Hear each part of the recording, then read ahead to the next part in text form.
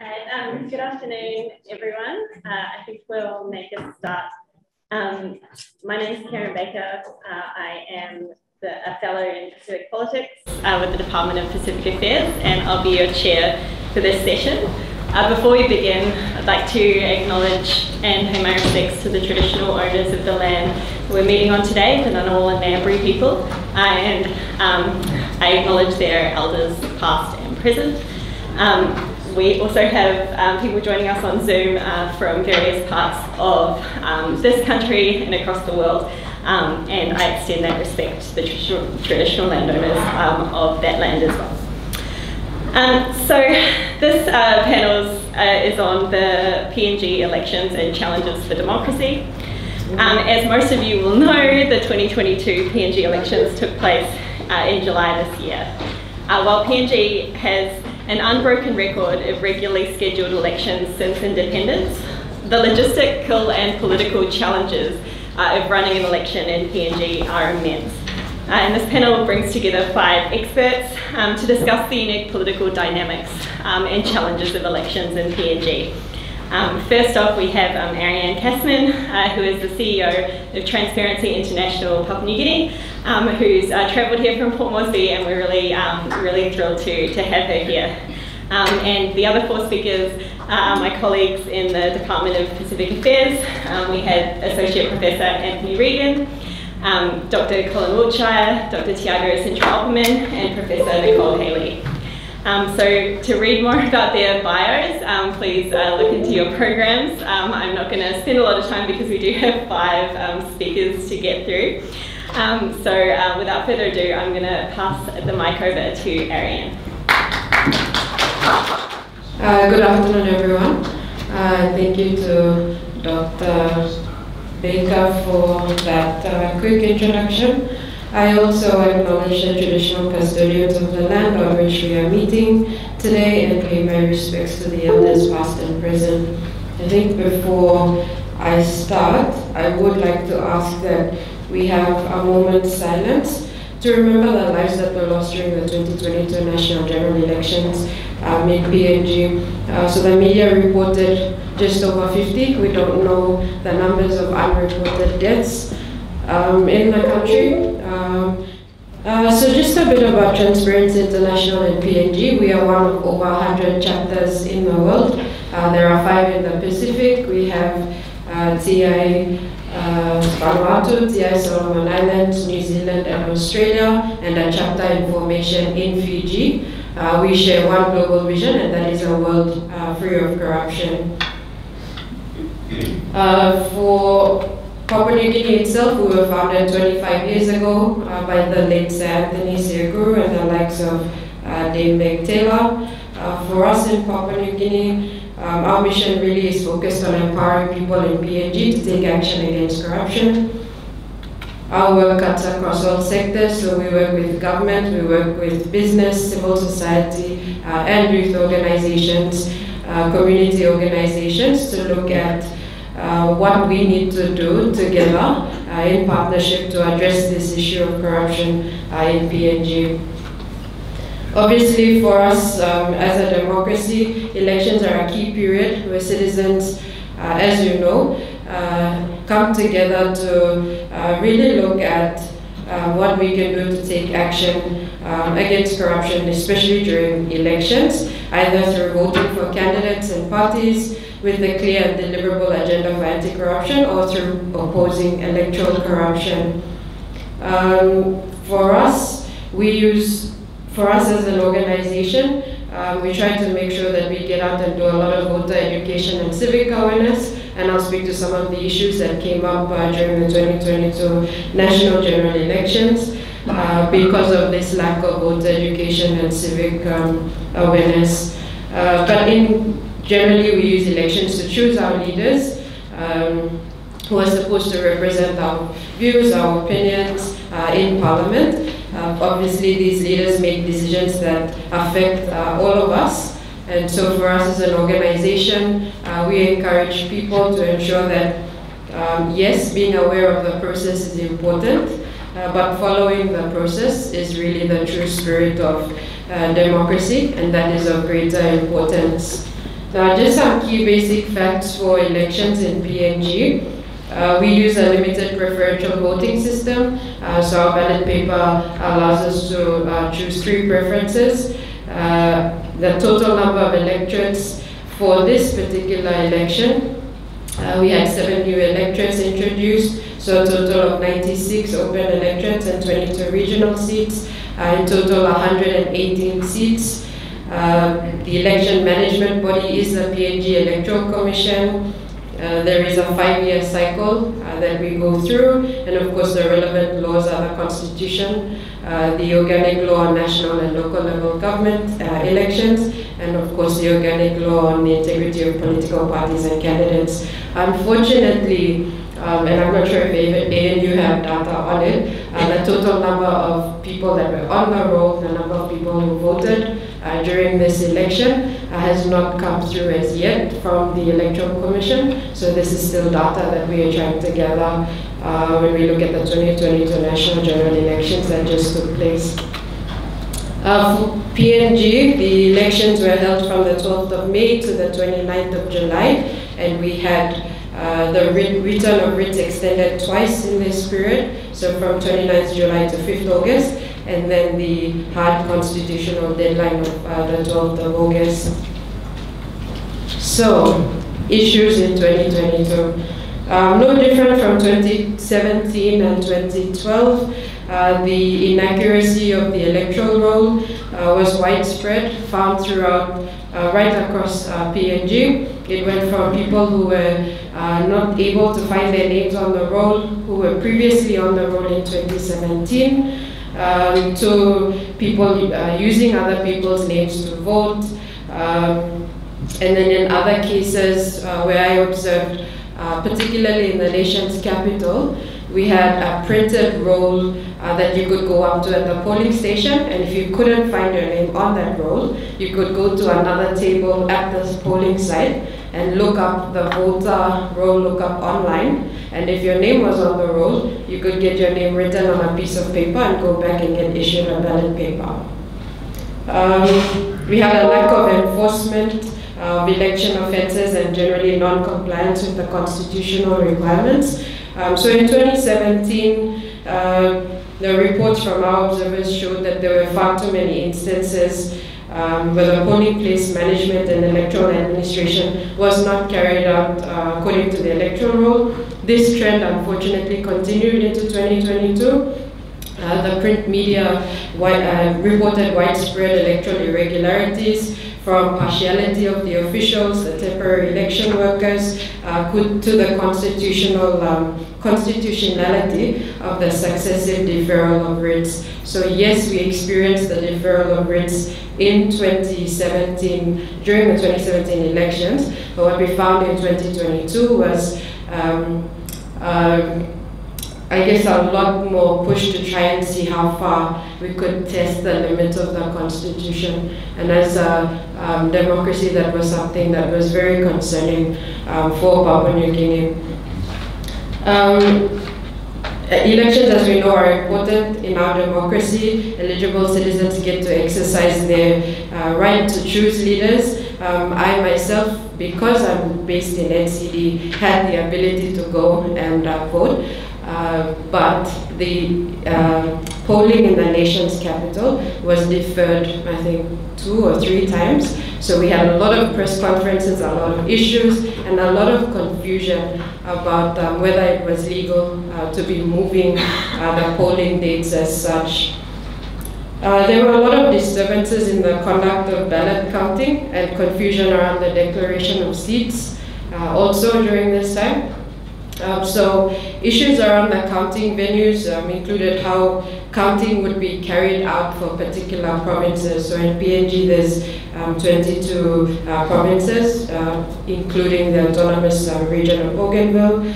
Um, and each province, each province was able to actually decide how they wanted to carry out counting. So a lot of decision making about the conduct of counting and how declarations would be made uh, was left to a lot of the temporary election workers, and this caused a lot of issues uh, when it came to um, the counting period, and of course the successive declarations that took place. Um, the biggest issue around around counting and declaration was around accurate progressive results. So the Electoral Commission itself had tried to have an online uh, uh, tally that would show uh, up-to-date results. Unfortunately, I don't recall a time where it was ever updated in real time. Um, and in fact, towards the end of the election period, with the uh, extension of the return of writs, uh, the person responsible for updating the uh, tally uh, seemed to have stopped um, doing so. Um, on the 2nd of September, we put out a press statement uh, because of these issues around declarations that had been made under what they termed special circumstances. Um, and so a direct quote from a press statement we put out at the time. On the 9th of August, during the extended counting period, the commissioner announced in a statement that despite the destruction of ballot papers, the seats of Kabwum and Markham in Morobe province would be declared so as to deter those who might seek to disrupt the election. However, this rationale is not supported by a logic, as the counter argument is that it will embolden the assault on PNG's democratic norms. As further candidates who are leading will use disruptive tactics to have themselves declared. A very dangerous and worrying precedent has been set, and one which all thinking Papua New Guineans must not let pass without challenge. It is the view of TIPNG that there should be an investigation of the matter by the Ombudsman Commission to ensure citizens' constitutional rights were not inadvertently or unintentionally violated. Obviously, uh, as we know and we've probably seen in the news, widespread election-related violence continued. Um, another trend that continues um, as the years go by for, T, uh, for PNG. The disjointed manner in which requisite electoral uh, processes, such as the creation of new electorates uh, three, three months out from an election, the enrollment of new voters, updating of the roll, objections to the roll, appointment of returning officers, the commencement of the nomination period itself, and the gazettal of election and polling schedules caused tension among our communities. Election-related violence previously common in the highlands of Papua New Guinea occurred in coastal areas, from deaths, fights, significant damage to state and private property, closure of roads and airports, and the burning of ballot boxes. Um, and I think for the first time in NCD, we had an issue during counting where um, they hadn't allowed mobile phones, or they were not allowing mobile phones uh, to be taken into the counting center. And so we were relying on information that was coming from scrutineers. And there was an altercation between uh, two candidates um, scrutineers, uh, which resulted in uh, us basically seeing people running uh, on the road uh, with bush knives attacking each other, which is something that we you know, didn't really see in previous elections for Port Moresby, um, and unfortunately something that happened. So a lot of schools were affected. Um, schools were closed down um, for, for an extended period. So exams had to be moved, national exams had to be moved. Uh, basically, our whole lives were disrupted uh, during the national elections. Um, so that I guess in the panel that we have, we'll be discussing a lot of the issues that came up um, and the challenges that poses to um, democracy. Uh, but what I thought I would end with is really looking at some of the key recommendations that uh, we are putting forward in our initial summary report. So our full report will come out um, in November uh, this year. Um, in considering areas of action to restore public confidence in the electoral management body, we grouped our recommendations into two broad categories. Um, so transparency recommendations, transparency pertaining to the dissemination of information in a timely, accessible, and accurate manner. Um, the first uh, recommendation we are putting forward is for the PNG Electoral Commission to develop a five-year communication plan to empower voters and partners through proactive sharing of timely, accurate, accessible uh, electoral information. Number two is really looking at the formalizing of the provincial election steering committee functions, um, ensuring that there's uh, public sharing of the terms of reference of this provincial election steering committee, uh, and ensuring that there is civil society participation uh, in the provincial election steering committees. Number three is to ensure that we're committing funding through the national budget of the entire five-year um, election cycle. Um, so unfortunately, as a country, once we have elections, uh, it's not prioritized until a few months before the election, um, and this uh, caused a lot of issues for us in the 2022 elections. So calling for consistent budget support um, throughout this five-year period. Uh, the fourth is really to table a full report on the conduct of the 2022 national general elections in Parliament and making sure that this report is made publicly available. Uh, we had an experience in 2017 when the electoral reforms were proposed, big consultations right across the country, and unfortunately no report tabled in Parliament until uh, two months before uh, the 2022 national general elections. Um, so really pushing for an immediate report um, to be presented to Parliament uh, so that action can be taken in the next five years. And of course, looking at the integrity recommendations, so integrity actions are focused on ensuring that the norms, processes, the standards, regulations, and laws are agreed to and complied with by all responsible parties.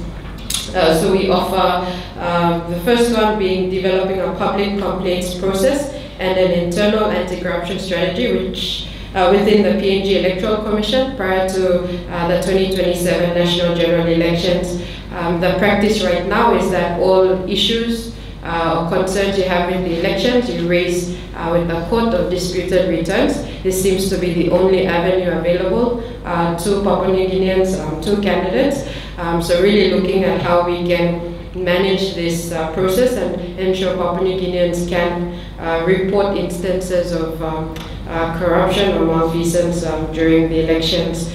Uh, the next one is really to investigate, arrest, and prosecute election officials that are alleged to have engaged in corruption during the 2022 national general elections. Um, our records show that only one electoral official uh, was charged um, and sentenced to um, time in prison uh, from the 2017 elections. Um, so he was found with about 180,000 kina cash in his car in 2017. It took five years for that decision to be handed down, uh, and that was done early this year. We need to see a lot more in terms of prosecutions uh, so that it can act as a deterrent um, to, you know, for this. Um, the second last recommendation is really looking at the electoral management body itself and reviewing its organizational structure, its procedures for engagement with temporary election workers, um, and how we can ensure that we promote accountability um, in the organization as well. And the last point is really looking at establishing and equipping the Electoral Advisory Committee, IEM, prior to the commencement of elections, so that the process for uh, declaring a failed election in an electorate is also clear uh, for uh, the election process um, and for all those involved as well. There are a lot of good things that we can do to improve elections in Papua New Guinea, including uh, improving women representation in parliament. But these good things are not sustainable without meaningful reforms that help to support transparency and integrity. A formal learning process amongst PNG EC and key stakeholders must take place with government commitment to implement the reforms. So the Interdepartmental Elections Committee that's chaired by Secretary um, Ivan Pomaleu have commissioned the National Research Institute to conduct this, and the Prime Minister has committed to setting up a parliamentary committee to review the conduct of the 2022 national general elections. All of this has to be done this year if we are to really um, meaningfully um, take action um, to improve uh, the elections. For PNG to ensure we improve for the 2027 elections and strengthen the integrity of the election, uh, process, it will require political will and coordinated collaboration across uh, key civil society partners and amongst key agencies. Uh, and the key thing we're finding for us in Papua New Guinea is that uh, we have to do this work uh, ourselves at home and we need to have very honest and frank discussions about what went wrong and who need who, who's responsible, who needs to be held accountable uh, for what went wrong, uh, and then look at what steps we need to take to improve uh, for the next election, keeping in mind that our local level government elections are due um, next year as well. Um, so that's the end of my presentation, um, and I'll hand it back over to Dr. Baker. Thank you, Kerryn. Thanks, Rayanne. Um, I went to Bougainville in June and was there for five, six weeks, helping to coordinate the um, ANU DPA organised domestic uh, observation in Papua New Guinea, which was carried out across 40 constituencies, and we worked in two in Bougainville. Now, it's the first time I've ever had a consistent, up close um, sight on the election, and I was struck at how impressive the system is. It worked really well in Bougainville. There were problems, number of serious uh, hitches, they were dealt with in a very peaceful, orderly, and respectful manner. And it strikes me that looking at what's happened in parts of the Highlands, NCD, parts of Morobe, even a little in West New Britain and New Ireland, is about, to a large extent, stepping outside the system. The system, as it's designed, works remarkably well when the system is respected and when the integrity of the independent body administering it is respected and their directions uh, acted upon. What's happening in the places where the electoral system is going bad, this is not only, I'm painting the very big picture, the real difficulty is that people are stepping outside the system in the way the rolls are uh, developed, in the way nominations happen, in the way voting happens, in the way counting happens, in the way declarations of results are happening. Candidates and their supporters are stepping outside of the system, manipulating the system, ignoring the rules, and perverting the system. When we see ballot boxes being destroyed, that's part of what I'm talking about all the internal checks and balances within the system, which are quite remarkable when you see them operating at the election level properly, simply don't work because people have got incentives to step outside the system and control it and get elected not on a democratic basis but on the basis of their control of the system. Now why is that why are there incentives for stepping outside of the system? To a large extent, in my view, it goes back to the reform of the provincial government system in Papua New Guinea in 1995, when the constitutional laws were amended to abolish elected provincial governments, which acted as a check on the national government and on MPs at the local level, and in the process of that reform of 95 and subsequent reforms leading up to the establishing in 2014 of district development authorities, MPs were put in charge of government at the subnational level. We focus a lot on the DSIP and the PSIP, the 10 million kina slush funds that every MP has. And we say that's given MPs a huge amount of money to influence voting and uh, patterns of development, uh, and it, it, encourages corruption. But in my view, that's only a very small part of what the MPs control. The provincial MPs are the governors of a largely appointed provincial government, the membership of which they heavily influence.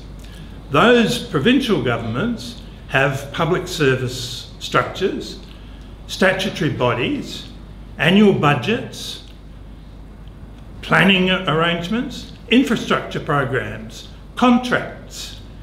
Who's in charge of it all ultimately? The, uh, the provincial MP. The district development authorities established in 2014 were the final step of a tremendous effort made from 1995 by the open MPs who were extremely, excuse me, pissed off and jealous because they didn't have the same power over operations in what were now their districts. Previously, districts were administrative units that were determined by provincial governments. In, 2000, in 1995, the districts became the border, sorry, the open electorate borders became the borders of districts. With the DDAs, the MPs, the open MPs, were put in charge of a district development authority appointed, heavily influenced by the MP. In addition to their DSIP, they got the budget, the statutory bodies, the contracts, etc.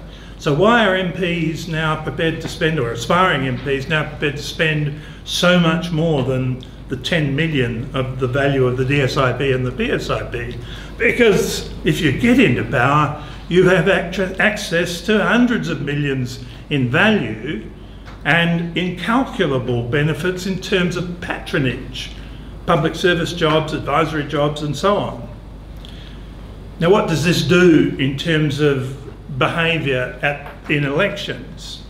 It means that there is incredible incentives to become an MP, and it's worth putting money into it and perverting the system at whichever stage you feel best equipped as the candidate to pervert the system by stopping other people from nominating, which is done in all sorts of crude ways, by manipulating the rolls, both in their development and in their practical use, controlling polling booths, uh, controlling returning officers. There's actual struggles over who gets into the returning officer's position in many electorates. Controlling the counting process as much as possible, destroying ballot boxes from the areas where you doubt that you'll get your support, and so on. Now we can, and this is all helped by lack of economic development at the local level, in rural areas especially, and great economic inequality, so that there are hordes of young people in particular willing to be paid by aspiring members to do their deeds, violence, destruction of ballot papers, etc. Because this is their one chance to share in the bounty of the state. Now, what does this mean for reform of the electoral system? There is absolutely nothing wrong with reforming those bits of the electoral system that uh, don't work well. But it's going to be, I think, impossible to stop this stepping outside of the system at the various points because there's going to be so much at stake. Coming back to Bougainville, because I've got to finish fairly quickly, Bougainville, they don't step outside the system. I would say part of the reason, there's a whole plethora of reasons, but part of the reasons is that the 95 reforms don't apply in Bougainville. The provincial member is not the governor. The open members do not head DDAs, etc. So that, one, that massive set of incentives to step outside of the system don't apply in Bougainville. So my, I'm, I'm very sorry to say, prediction is that reform of the electoral system, well intentioned though it might be, and well it might clean up some things about the worst aspects of the operation of the system, it's not going to change things because you're not going to get reforms to the basics. You're not going to get reforms to the provincial government system or to the electoral system where it hurts the MPs because it's against their interests to reform those things. Thank you very much. Okay, thanks for that, Tanush. Um, so there were plenty of media reports during the national election um, about the state of PNG's electoral roll. You know, it was widely perceived to be inaccurate. Many citizens not being able to cast their votes, as um, Arianne talked about. And much could be said about the common roll, like why roll updates weren't done, um, its politicised nature, and what can be done to fix the situation. But I don't want to focus on any of these complex topics in my 10 minutes. I simply want to share the ways that these flawed electoral rolls were administered at polling stations in some locations that I observed. Because for all the talk of a poorly administered election, it was the polling officials who were put in really difficult situations. They knowingly received these flawed rolls from the Electoral Commission and had to face the communities. How they chose to navigate these polling day arrangements had significant implications for whether citizens were able to vote. And as the title infers, there's no good outcomes when starting with a flawed electoral roll. So I'm going to walk you through four cases of what polling officials did with the common roll, using mainly video clips and photos to give you a real feel for what transpired at the election. And I'll spend most of my time on the first case, which was to follow the process of using the roll to identify voters as instructed by the Electoral Commission. The second was to use the roll as a tally sheet by just crossing names off regardless of who the voters were in line. The third was to call out names on the roll so citizens present could step forward and vote. And finally, there was the case of just simply ignoring the roll, whereby local leaders decided how to split their allocation of ballot papers. And I need to be clear that the perspective I'm offering here is from Morobe, Madang, and Eastern Highland provinces that I observed.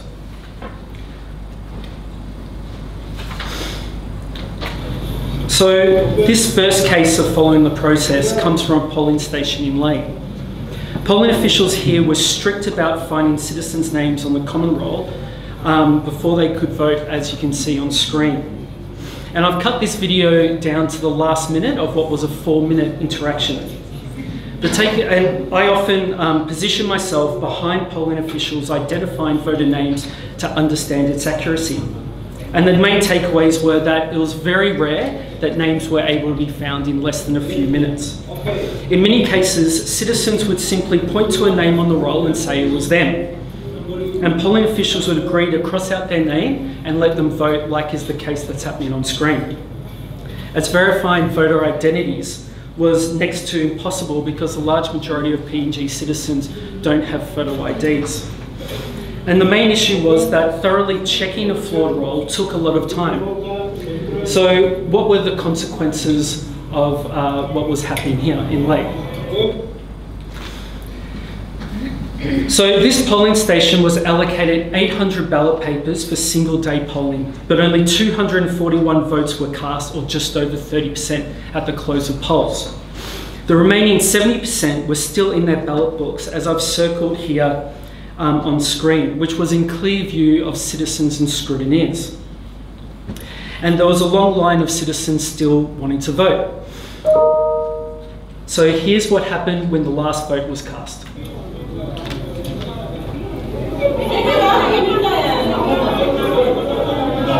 Me kɔtɔ la si bi dama mɛ mi kun tɛ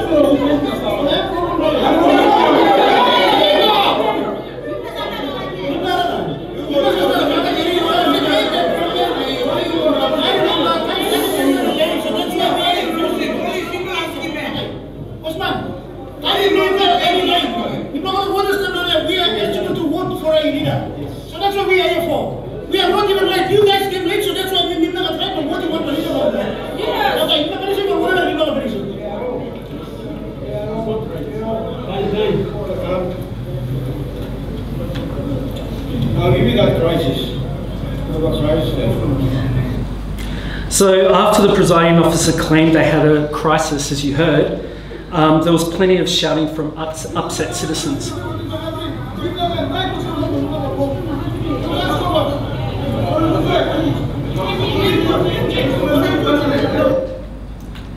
Then the police steps in, and you can read the broad translation on screen.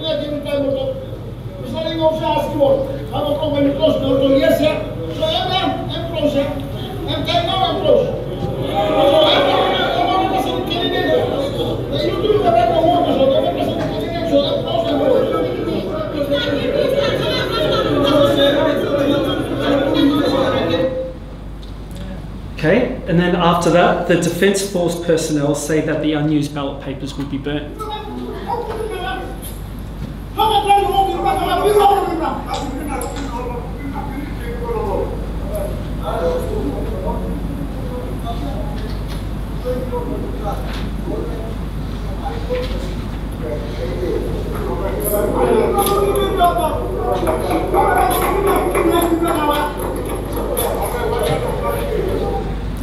And so this is how they burnt the ballot papers. So the first one is obviously the beginning of the process, and then the later one is when the fire gets uh, well and truly um, happening. I'll play them both at the same time. So you can see that um, following the process of strictly using the roll, resulting in two thirds of allocated ballot papers burnt, disenfranchised voters. So hardly a free and fair process. Okay, so the second case I want to talk about was the most common practice at polling stations in Lae was simply to use the roll as a tally sheet by crossing names off the roll in alphabetical order, regardless of who came to vote. And this was happening at polling stations which were just hundreds of metres away from the first case I showed you. And you can see in this clip that the polling official is counting 10 women in the female line.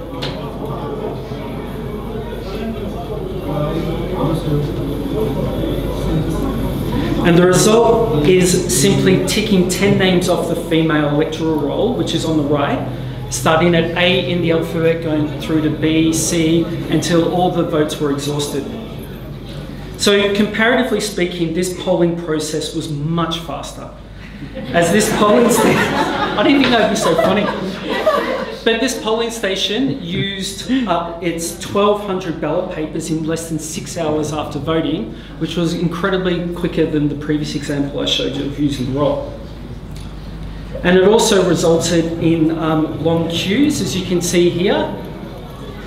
And it seemed clear that word was spreading um, throughout Lae that at this polling station, you could simply just go up to the polling station and vote no matter who you were. So these are just two snippets of that video. Okay, so moving on to case three, which is calling out names on the roll is in a rural location in the Madang Open electorate. Polling officials here decided to decided to call out names on the roll using the megaphone that you can see um, on screen. And citizens who were present and were called got their chance to vote. And local leaders were at the polling station to ensure those called were actually people who reside in this location, so some form of verification. The problem here was that all once all the names were called on the roll, which happened in the morning and again in the afternoon, most people had still not voted, simply because their names weren't on the roll. And then polling officials and community leaders engaged in a heated discussion. And here's a clip of a community leader advocating that long term residents should be given the opportunity to vote first, even if their names weren't on the roll.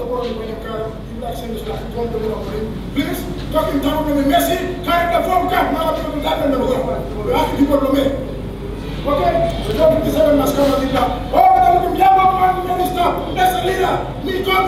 last one.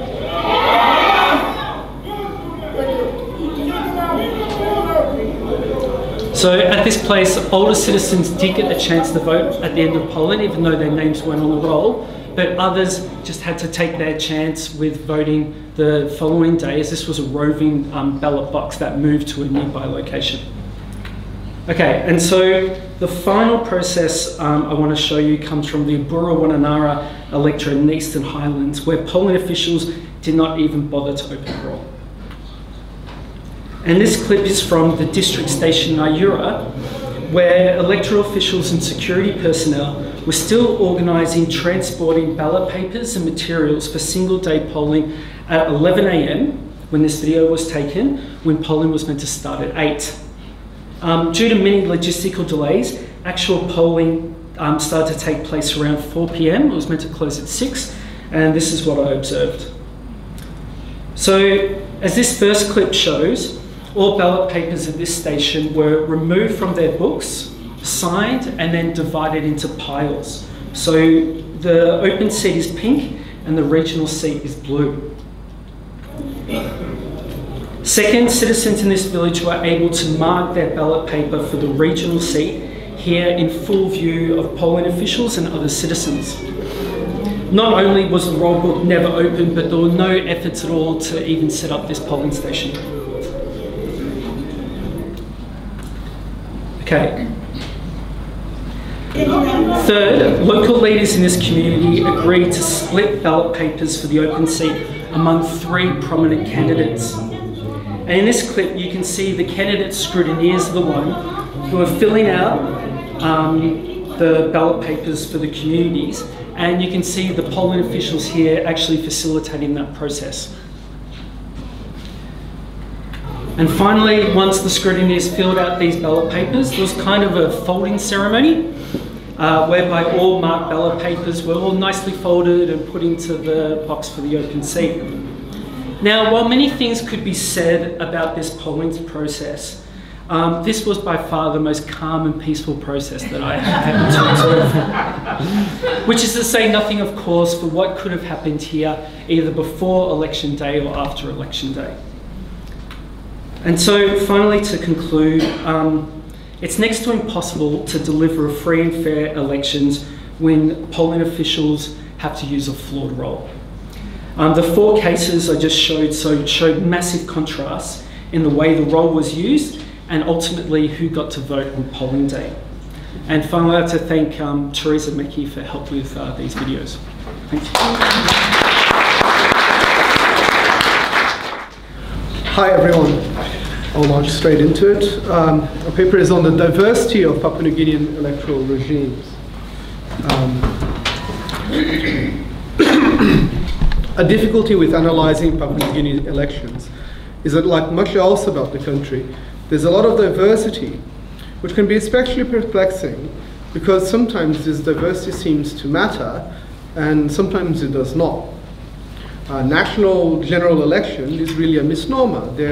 There are really dozens of distinct ways the elections are run in practice, different regional and local electoral regimes.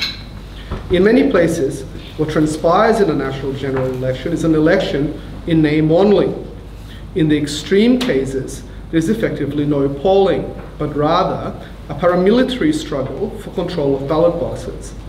Elections in these areas are effectively turf wars between criminal politicians, in which the electoral administration is either coerced, sidelined, or co opted. In other areas, the elections is much more easily recognized as an election, with relatively minor problems. The difference can be jarring, and a person accustomed to the more benign forms of political contest in PNG may have a difficult time understanding the different regimes elsewhere. To them, and I include myself in there, I started studying Bougainville uh, and then moved on to the highlands. Um, it may appear that chaos reigns in those parts, but unfortunately, that is not the case. Uh, the collapse of electoral rules in PNG is not driven by pure chaos. It is deliberately engineered for political purposes. So, how do we make sense of Papua New Guinea's electoral diversity? Um, here I want to suggest that we can classify them into four types, partly because as an anthropologist, wherever I see a political scientist do one of these things, I get really angry. and then I try to find out why it's wrong. So hopefully you can find out why it's wrong.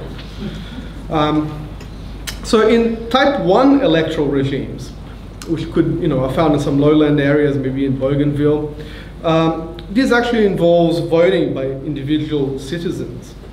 Elections are messy, but are easily recognized as elections with queues of voters and regular procedures.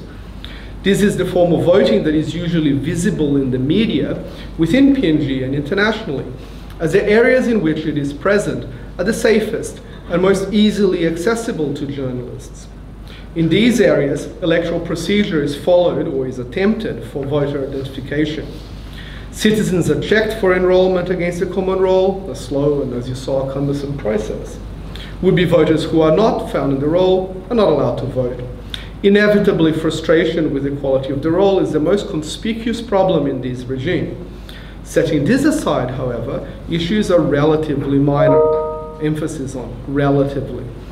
Electoral crimes involving the mishandling of ballots, such as multiple voting, pre-filled ballots, and ballot stuffing, are generally rare or entirely absent. Now, importantly, these relative, the, the relatively benign processes that we see in these type 1 electoral regimes do not translate into obvious political differences in terms of the type of politician elected. Politics is here, as it is elsewhere in the country, distributive. Its aim is to place candidates in government so as to direct resources back to local communities. The methods differ though. Now, if we turn to this type 2 uh, electoral system, the second type, uh, which we could see uh, happening in Eastern Highlands, Chimbu, to some extent Sepik and Morobe that we, uh, we just saw some videos of. Uh, here, um, really this, this system aims to involve people practically in, in, voting, or at least individual voters physically handle the ballot paper, which sounds like nothing, but it's pretty important. Uh, however, there is far greater direct interference with the electoral process by political agents. Voters may be allowed to fill second or third preferences only, with the remaining options previously completed by agents. Secrecy is minimal and often deliberately subverted, both by agents attempting to enforce diktats on voters and by voters seeking to demonstrate their allegiance to candidates. In these systems, discipline at a clan or village level is at least in part achieved uh, in pri by private and public coercion, including possibly serious violence, reprisals, destruction of property. The most conspicuous difference to an observer is that there is no voter identification in these areas. The common roll is not used or used only as a tally. Consequently, voting is very rapid. Multiple voting is frequent, and turnout tends to be, to, to be close to the total number of available ballots, or even exceeds it sometimes. In these type 2 uh, systems, the core logic of electoral democracy has been corrupted rather than one person, one vote according to conscience. There is a collective effort to exhaust all available ballots according to a usually clan level decision. However, the process still necessitates cooperation among many, even most people in a polling station or village. These forms of electoral rigging more or less reflect a volonté générale at the local level. In some respects, this is an overt version of what happened, what trans sometimes transpires quietly in the type 1 regimes. Whilst it is critical to note that in general, nobody is free to dissent from these practices where they take place, and voting is therefore unfree for individuals, this type of electioneering is often regarded as normative. It is what is expected of an election, and in some respects, it is indeed valued. Uh, in, in the ideal case, what is achieved is a powerful statement of clan political unity, which for some participants might be a more prized value than the abstractions of liberal democracy. Violence in these areas tends to peak during or after counting votes, at which point candidate agents come to realize who has and who has not stuck by their promises. Okay, moving on to down the path to ruin, we come to type 3, which are electoral systems, which are a qualitatively more radical approach. Whereas in type 2 regimes, the election consists of a competition between clan networks to mobilize voters at polling time and, opportunistically, to seize control of the polling processes. In type 3, competition also seeks to deprive competitors of the capacity to poll. This is a decisive change which opens the door for a far more hostile form of political organization.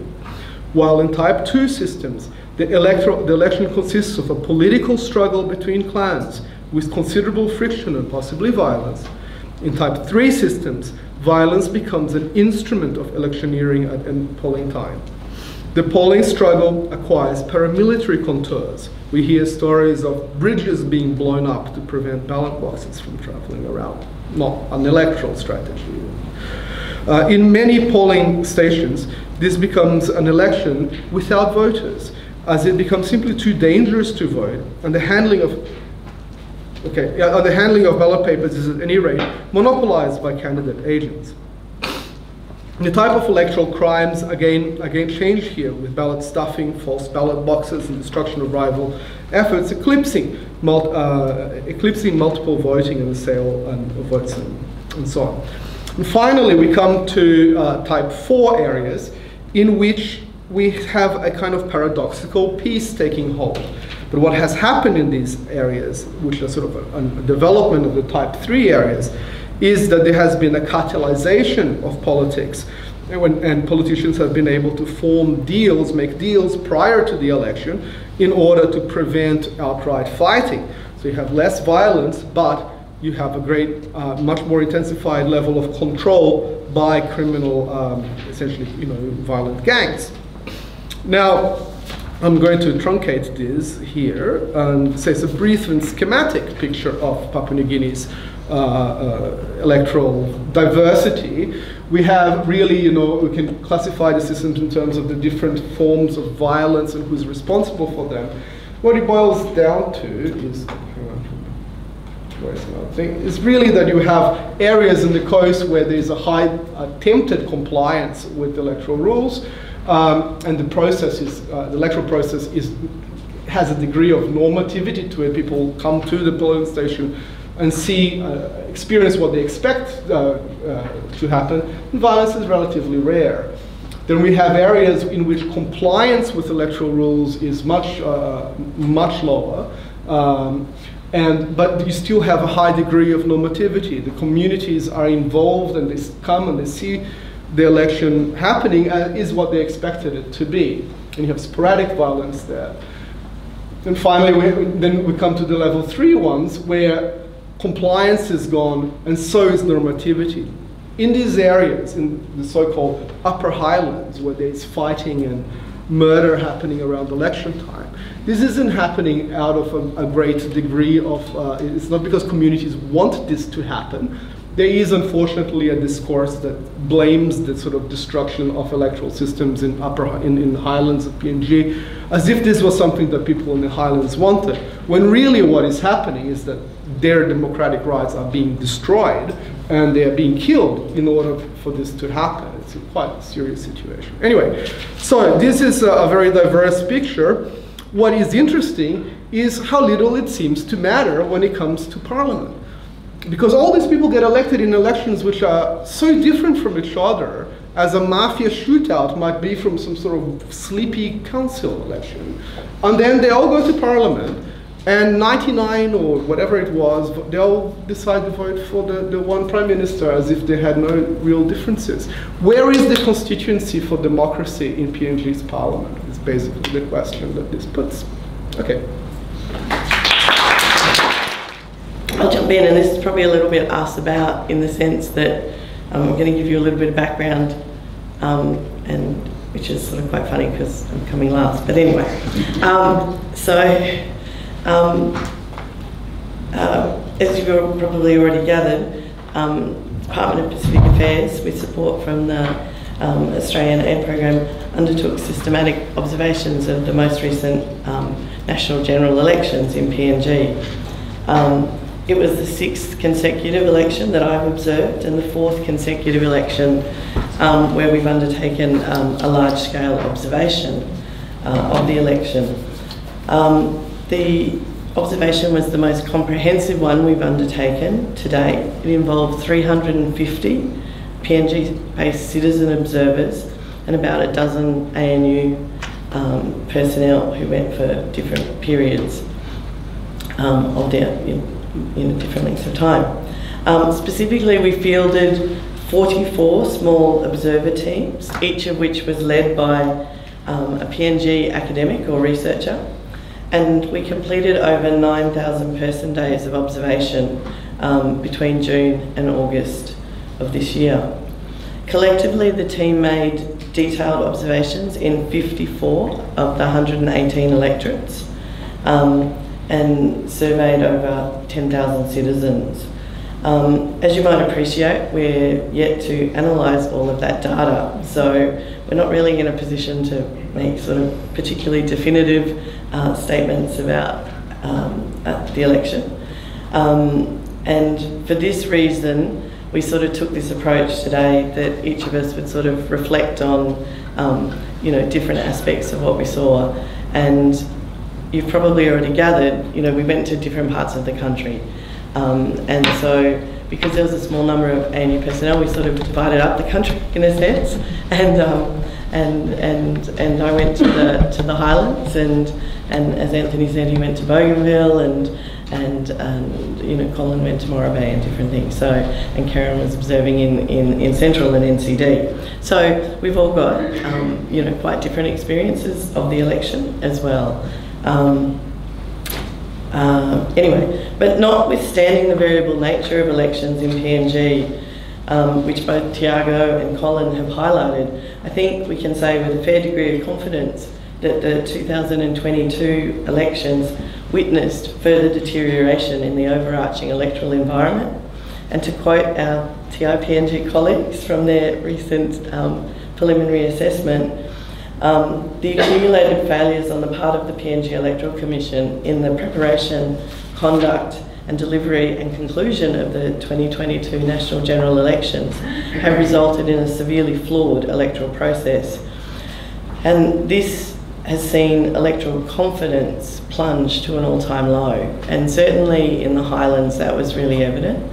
Um, I think what was also evident was that there were efforts on the part of you know communities to try and um, restore that confidence in some in some ways. You know, but that efforts to restore confidence also resulted in um, I suppose, to, to use Anthony's language, a stepping outside of the system. So people developing, um, you know, their own procedures that uh, were certainly at odds with um, formal procedures, but as an effort to, to um, you know, to, to restore some confidence in it. So the sorts of things we saw were, um, you know, prior to the elections, um, you know, uh, candidates signing the inside of the ballot boxes so that when the boxes came back, they could check whether they were the, the, the correct boxes.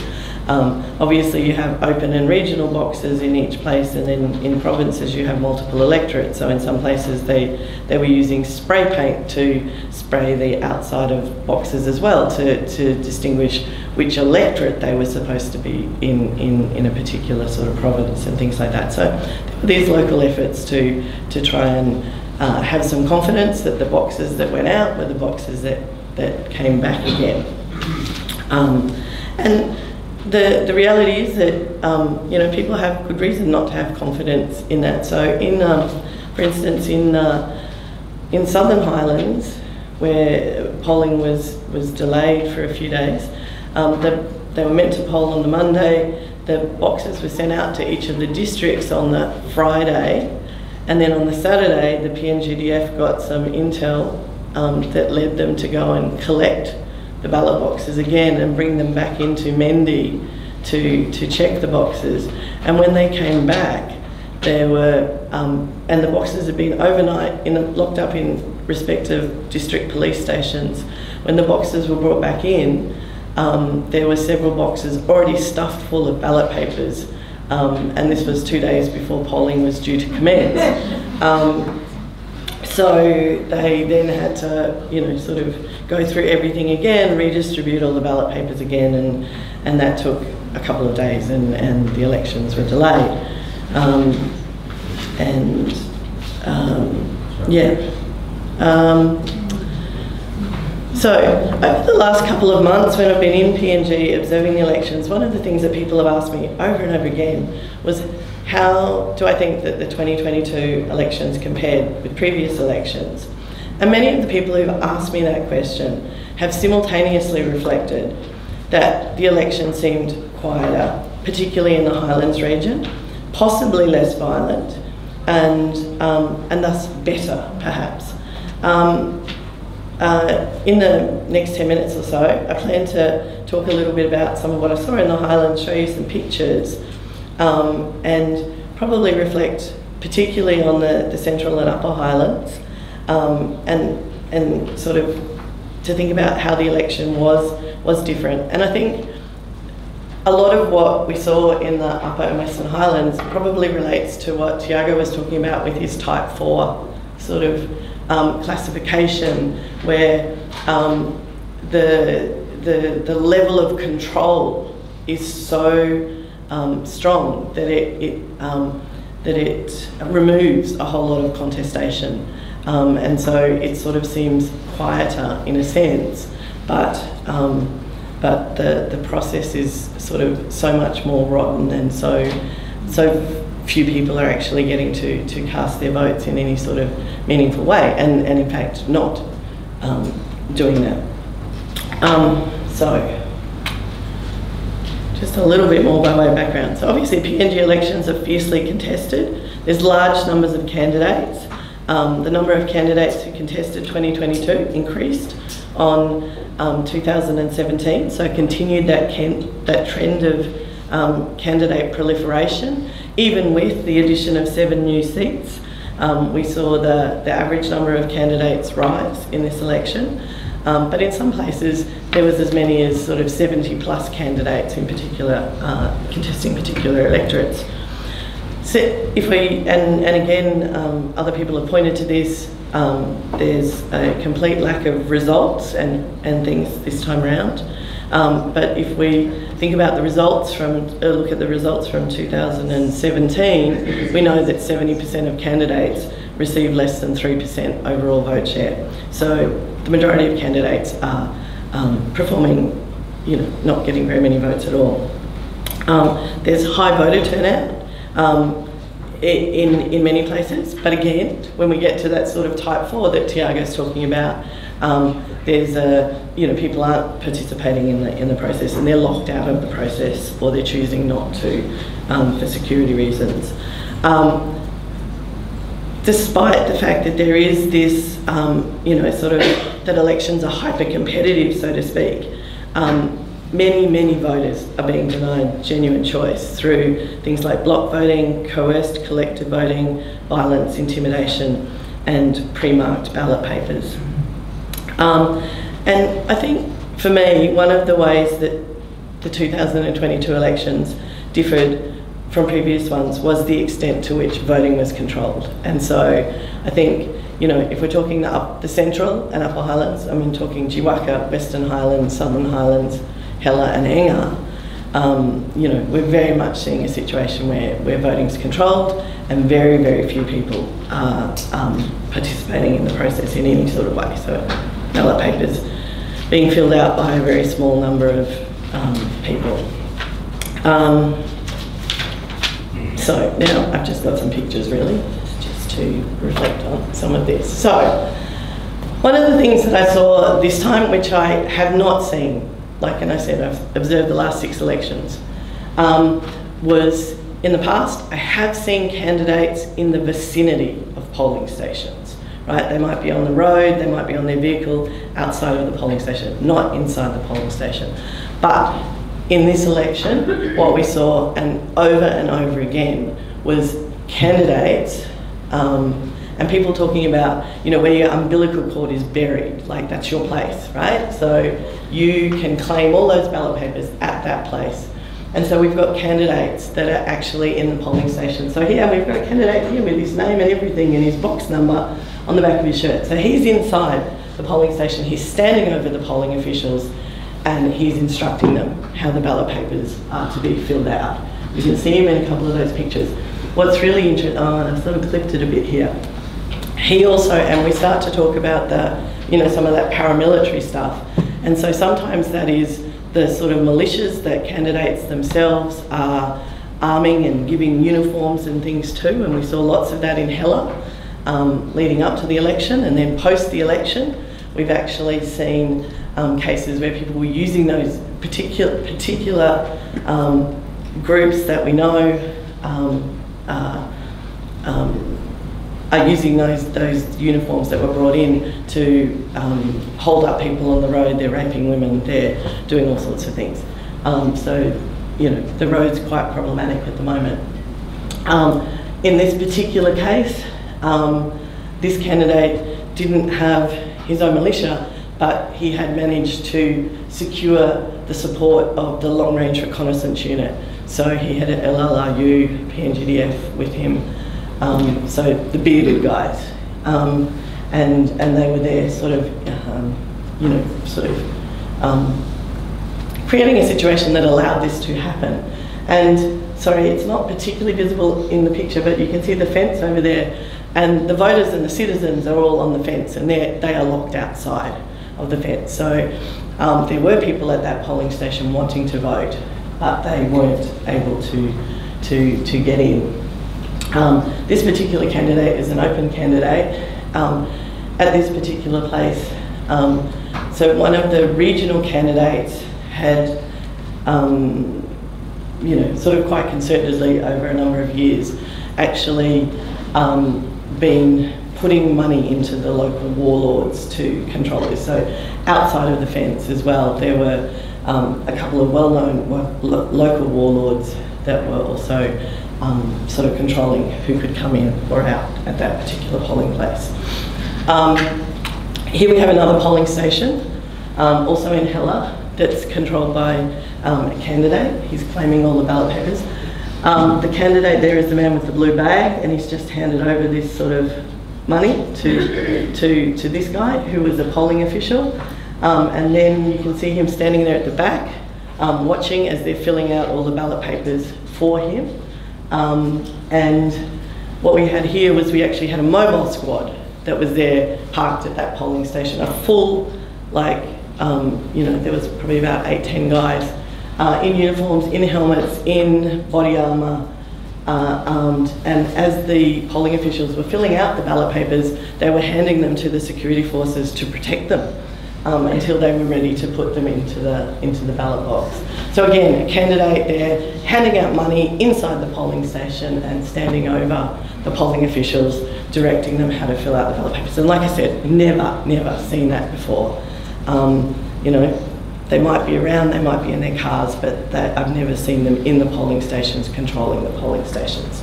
Um, I haven't um, put up some photos on the, the next slides, but um, as well as polling stations that were being controlled by candidates, um, we had polling stations in, Tara, in, in, in Hela and in Tari that were being controlled by um, the, the really high profile warlords um, as well, who had been bought off uh, or, and were supporting a particular candidate. And there was, and I have video footage of this, um, where they're at a polling station where the local warlord was, was armed and his boys were armed. And they were telling the community that they decided how they were going to vote and how all the ballot papers were going to be filled in.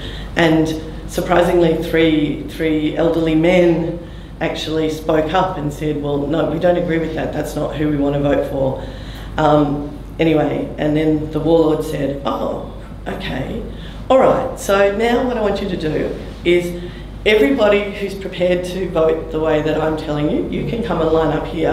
And anybody who wants to disagree with me, you can line up over here. And so he was challenging the community to, um, uh, interestingly, um, there were other people around, and there was um, um, a group of women at the side in the video who were actually praying for um, God to come and end the world and to release them from the um, from the warlord's control. Um, it's a it's a community that's really really suffered under this particular warlord. So anyway. Uh, uh, here I have a quote from um, one of our um, observers. This is talking about, this is also in Hela, um, talking about the polling at um, Kopiago at Koroba Station. Um, at Koroba Station, the people didn't vote, even for second and third preferences. So in the past, what we've seen in elections in Hela for the last couple of elections was often um, first preferences being marked, pre-marked, um, but voters and, and people would say they can cast their democratic rights on two and three. So there would still be, um, you know, some, you know, semblance of people participating in the process.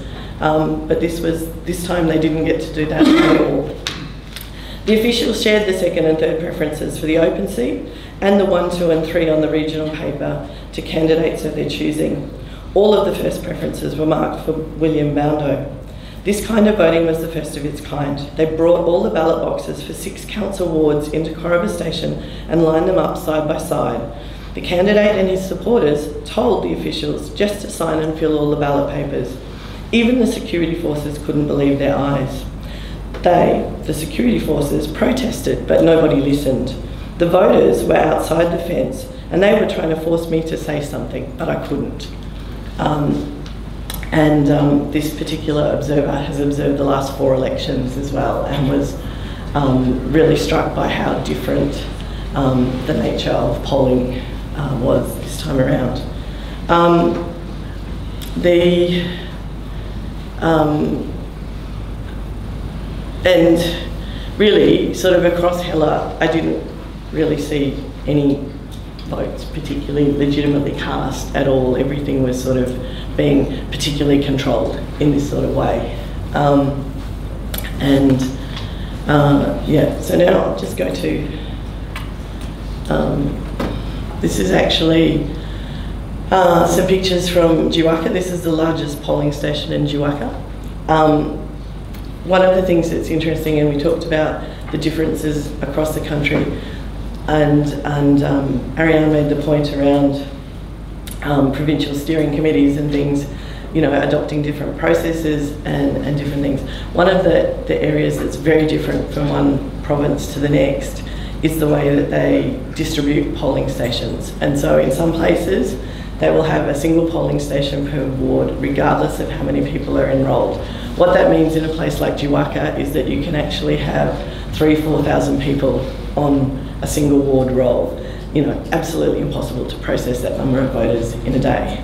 Um, on, on the other hand, um, in um, parts of the New Guinea Islands and, and New Ireland and things, you can have, you know, sort of only 100 or so people on the roll at those particular places. So there's much more opportunity for people in some parts of the country to participate in the process than, than in others.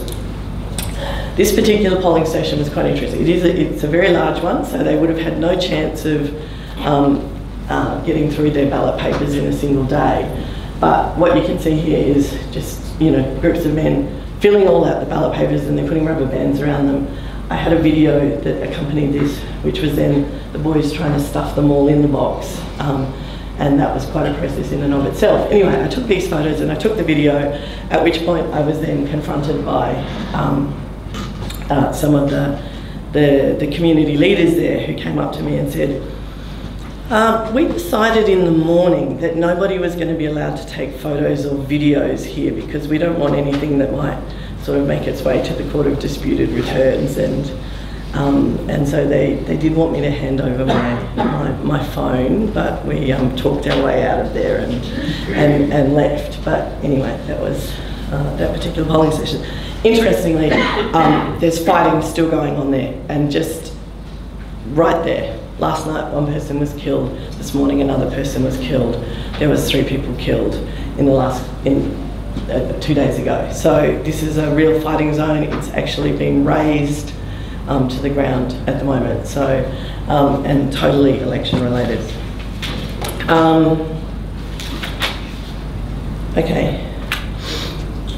Here's another way that um, voting was controlled, and this is from, from Western Highlands, and this was quite interesting. This was a, um, one of the, um, a sitting member decided to provide these high visibility vests to, um, well, to, to his own election security. So each polling station, he had 20 of these guys in these high vis vests, the, the polling stations that were sort of under his control, and they said on the back of them, um, you know, 2022 National General Election Security. So they look like security. And I went to this polling station and I was like, I haven't seen these everywhere else, so how come you guys got, because actually interestingly this time around, even the polling officials didn't get uniforms. In the past they were issued with, with shirts and things so you could tell who the polling officials were. This time it was really hard because they didn't have uniforms and so this was a place where, anyway.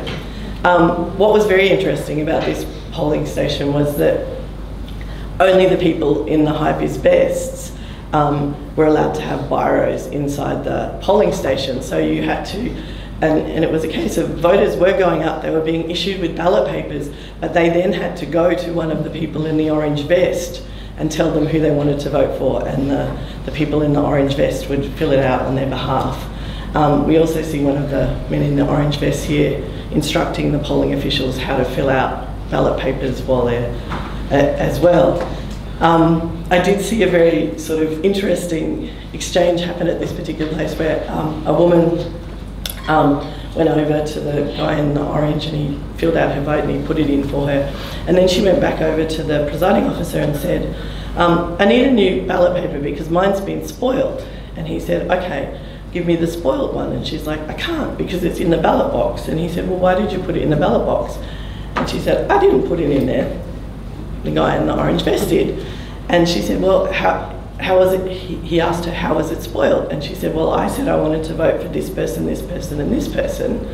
Um, but he filled it out for, you know, three different candidates. And so that was the basis on which she said her paper. Anyway, she argued, and eventually they got so exasperated they gave her a ballot paper and let her fill it out herself. Um, um, while we were at this particular polling station, watching all of this, the polling station we've been at previously, and this is this is Hagen, Mount Hagen. This is an urban polling station in Mount Hagen. This is Queens Park, right? And the ones below that, um, down at um, we've been there. We were observing.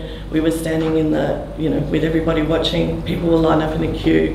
While we were there, um, a 10-seater drove in. It ploughed straight into the people that were queued up waiting to vote. They jumped, about five guys jumped out and started shooting, and um, they hijacked the ballot boxes, sort of right in front of us. And so we left that polling station and went to this polling station, and there's another one in between. And um, and when we were here, we could hear shooting that went on for about 20 minutes at the polling station that was down below, the intermediate polling station. And then they came to this polling station to try and hijack the boxes, but they've got this very heavy metal fence that they've put around Queen's Park now. And so they locked and, and chained the fence so the people couldn't come in to steal the ballot boxes, but the people who were shooting were on the outside of the fence and we were all on the inside. So um, you know, but anyway, so this is right in, you know, this is urban Mount Hagen and people are um, having gunfights and they're driving cars into polling stations to hijack boxes. So anyway, um, yeah, so that's it, I'll finish there.